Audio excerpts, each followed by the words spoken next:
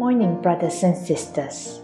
Today's devotion is taken from The Desire of Ages by Ellen G. White, chapter 68, page 623.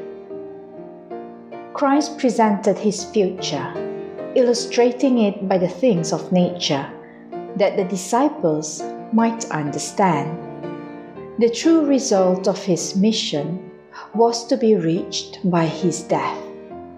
Verily, verily, I say unto you, he said, except a corn of wheat fall into the ground and die, it abideth alone. But if it die, it bringeth forth much fruit. When the grain of wheat falls into the ground and dies, it springs up and bears fruit. So the death of Christ would result in fruit for the kingdom of God. In accordance with the law of the vegetable kingdom, life was to be the result of his death. Are you willing to sacrifice your life to save the life of others? Let's pray.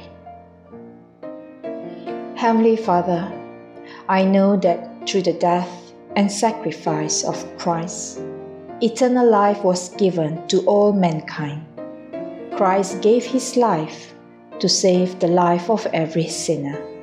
And for this gift, I thank you so much.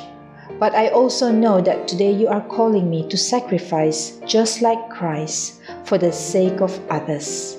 Help me today to follow Christ and to fulfill the mission that you have given to me.